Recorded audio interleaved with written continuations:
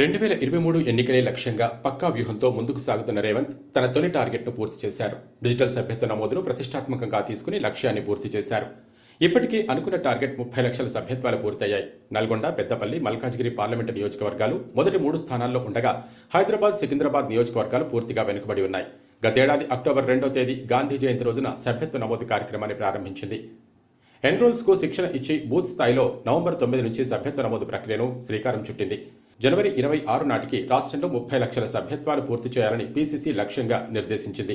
కేంద్ర ఎన్నికల కమిషన్ వద్ద ఉన్న ఓటర్ల జాబితాను అనుసంధానం చేసి సభ్యత్వం చేసే కార్యక్రమం కావడంతో సాంకేతికంగా పరిజ్ఞానం కలిగిన ముప్పై వేల మందికి పైగా యువతను ఎన్రోలర్లుగా నియమించారు.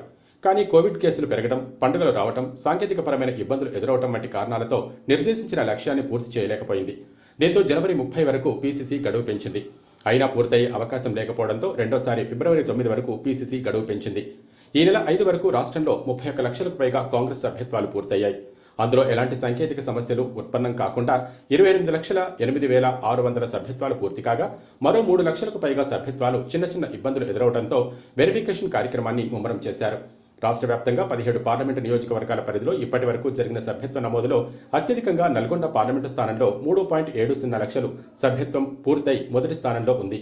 రెండు పాయింట్ ఎనిమిది ఐదు లక్షల సభ్యత్వాలు పూర్తి చేసిన పెద్దపల్లి పార్లమెంటు నియోజకవర్గం రెండో స్థానంలో కొనసాగుతోంది. రెండు పాయింట్ రెండు ఆరు లక్షల సభ్యత్వం పూర్తి చేసి పీసీసీ అధ్యక్షుడు రేవంత్ రెడ్డి నియోజకవర్గం మేడ్చల్ మల్కాజిగిరి మూడో స్థానంలో ఉన్నట్లు పార్టీ వర్గాలు వెల్లడించాయి.